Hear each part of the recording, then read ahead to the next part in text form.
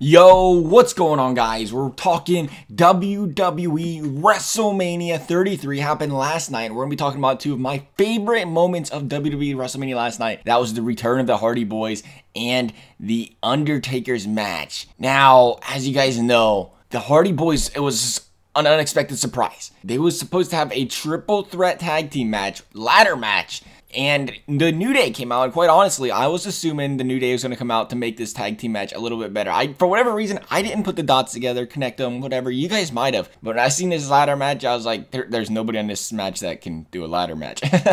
they was all big guys, and that's when the New Day came out. I was like, oh, well, the New Day will make it better. You know, Kofi Kingston's good on the ladders, and then they came out and surprised us with the Hardy Boys, and man, I was ecstatic. There's nobody I wanted to see come back more than the Hardy Boys. It's been rumored for years now, so so you know, it's one of those things you don't really you don't think twice about because it's been rumored so many different times and they actually made their returns in the grandest stage of them all and being the Hardy Boys doing what they do twist of fate off the top of the ladder, swanton bomb off the top of the ladder for Jeff Hardy. That's just how it goes.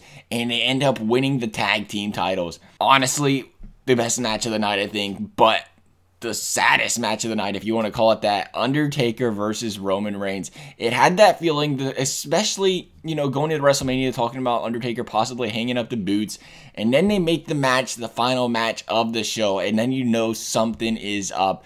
Needless to say, Undertaker Roman Reigns put on a great fight. Undertaker got speared through a table. There were tombstones, there were chairs, there were spears, multiple spears and Roman Reigns ended the match with a spear bouncing off the ropes a couple times, speared The Undertaker, pinned him, and ended the match.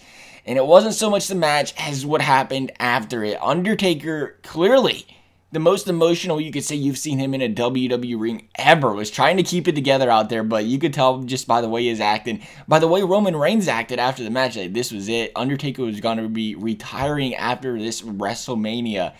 And moments later, you see Undertaker he yanks, takes off his gloves, takes off his jacket, walks up the ramp, and pretty much a symbolization that he is done with WWE.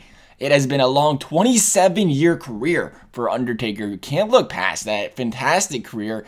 He's going to be missed. As for this video, though, guys, like I said, definitely a WrestleMania that won me over. I was a little skeptical going into it, but it definitely had it made it better. They did a great job this year. I hope you guys enjoyed WrestleMania. I did too. I hope you enjoyed this video. Thanks for watching, and we'll see you next time.